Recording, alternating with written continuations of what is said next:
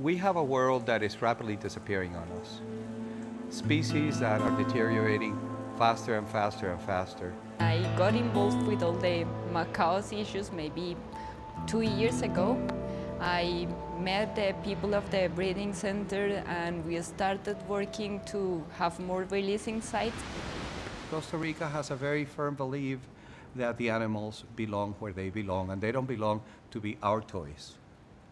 The decline of population of macaws here in Costa Rica is more about deforestation and also because they are caught for being pets. 40 years ago, this was an area extremely rich of animal life, but the magic one had disappeared. The magic one was the scarlet macaw. The population of scarlet macaws are lower. We started working on the different projects to take them back into the wild. Ara macao is uh, the bird of fire that has inspired many, many writers, many, many generations of people. And it was a shame because it was growing extinct in the country. Every species is important in the whole ecosystem, so it's always important to protect one species because we are protecting the forest as a whole. My duty is, not my charity, my duty is to refurbish part of what has been destroyed by human beings. We are reintroducing these birds to be back into the wild, trying to reconnect the population we have in Central Pacific to the population that is in the south of Costa Rica. So this will be intermediate population. We take the eggs out of the nest, take them to the incubator in the lab, and when they hatch, we start feeding them. Now Adrian is preparing the food for the baby. Babies are fed every four or three hours, depending on the age.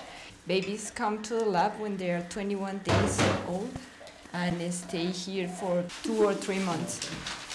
They make uh, funny noises even when they are babies. When they are two or three years old, we make sure that they are free of diseases and to sex them, then we take them into the releasing sites. This morning was a special day because we finally opened the cage and let the, all the birds go out. This is something that a child, by pressuring their parents and their grandparents and say, hey, by the way, you owe me that sometimes in the future I will be able to look at the sky and see macaws where they're supposed to be. And I'll be able to see bears where they're supposed to be. And I'll be able to see marine species where they're supposed to be. And I'll be able to enjoy the world that you enjoyed and destroyed for me.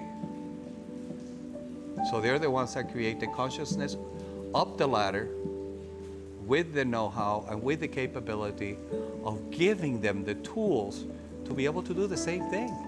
Ask for what you need. If you're a school child, ask for what you need to do a little favor for, for, for humanity. If each one of us took on saving one thing that's almost on the verge of destruction, we would all benefit from a much more beautiful world.